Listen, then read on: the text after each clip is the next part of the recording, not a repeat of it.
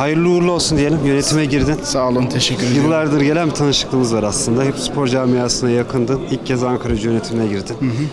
Neler hissediyorsun? İlk önce senin duygularını almak istiyorum. Mutluyum.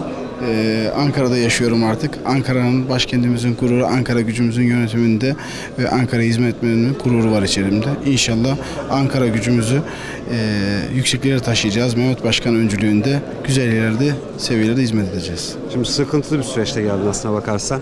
Takım zor günler geçiriyor. Kadro kurulamadı, transfer yasağı var. Ödemeler var. İlk kez uzun zaman sonra bir muhalefetle karşılaşıldı. Böyle bir dönemde yönetime giriyorsun. Bir de Mehmet Başkan yönetim de zor deniliyor. Yani girmek zor deniliyor şu anda. Bunu da cesaret ettin. Neler olacak? Ankara ile ilgili başkan, Mehmet Başkan'la görüştüğünüzde falan da neler hissettin? Neler... Mehmet Başkan'la ortak bir noktamız var. Ee, yönetimin de ortak bir noktası var. Ankara gücü. Ee, ondan huylarımız kesişiyor. Ee, zoru başarmak. Zoru başarmayı ben de seviyorum. Kendi sektörümde, kendi işimde olduğu gibi. Ee, evet biliyorum. Ee, muhalefet vardı. Muhalefet oldukça ee, güçlü yerlere, önemli olan Ankara gücünün daha yüksek yerlere çıkması.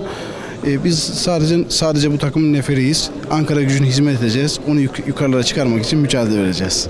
Önceden arkadaşlık şimdi haber alalım o konu oldu. Bu mikrofona çok maruz kalacaksın. E- evet, ilk- Başarılar diliyorum şimdiden Teşekkür sana. ederim. İlk defa bu konuda bir röportaj yapıyorum. İnşallah sık sık görüşürüz. Görüşmek İnşallah. dileğiyle. Çok teşekkür Ayağınıza ederim. sağlık. Tekrar hoş geldiniz.